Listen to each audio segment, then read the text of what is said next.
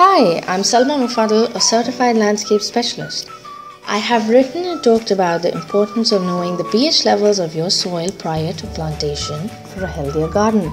In this video, I'm going to demonstrate how to test the pH levels of your soil at home using vinegar and baking soda.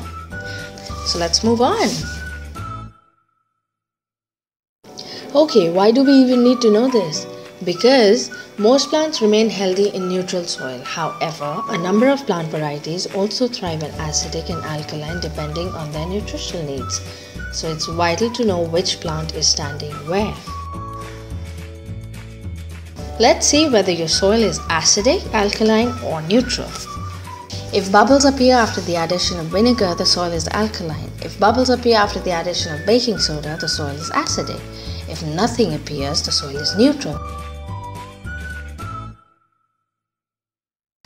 Collect soil from different parts of your garden. I took it from two different parts. Divide each soil sample into two containers as labeled here. And if you're using kitchen utensils, you want to make sure your mom is not around.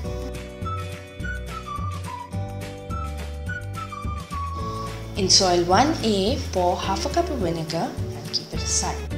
In soil 2A, pour the remaining half of the vinegar. The fizz is quite noticeable. After 10 minutes, soil 2A has prominent bubbles over the surface whereas soil 1A has no bubbles at all. Hence, soil 2A is surely alkaline. Now that the pH of soil 1 is still unknown, let's find that out. Add 1 tablespoon of baking soda to 1 cup of distilled water and mix well.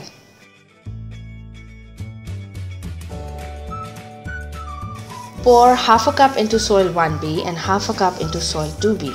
Stir and keep aside.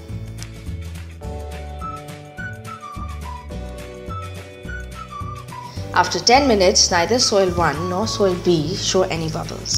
To this end, it is proven that soil 1 is neutral and soil 2 is alkaline.